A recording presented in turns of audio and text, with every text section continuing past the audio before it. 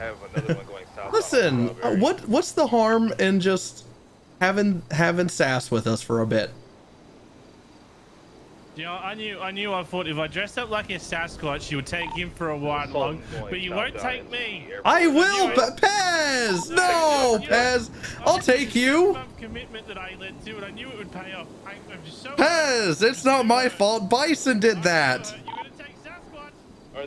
I take Fingal Dan. That's pretty much Sasquatch. It's gonna be a uh, looks like a Oh, look, you hurt Pez's feelings. with a uh, blue underglow southbound at top. Wait,